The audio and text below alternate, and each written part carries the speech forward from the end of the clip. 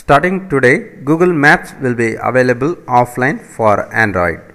Now you can download an area of the world to your phone and the next time you find there is no internet connectivity, whether it is a country road or an underground parking garage, Google Maps will continue to work seamlessly.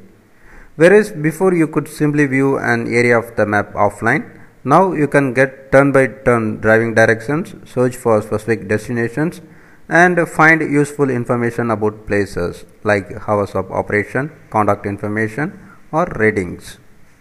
You can download an area by searching for a city, county, or country for instance, and tapping download on the resulting place sheet, or by going to offline areas in the Google Maps menu and tapping on the plus button.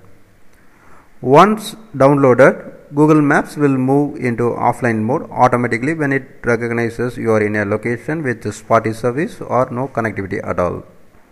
When a connection is found, it will switch back online so you can easily access the full version of maps, including live traffic conditions for your current route.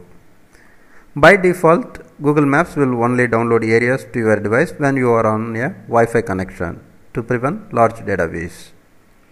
Google first previewed these new capabilities during Google I/O in May, and today it is gradually rolling out the first set of these improvements with the latest version of Google Maps on Android, and it will be coming soon to iOS.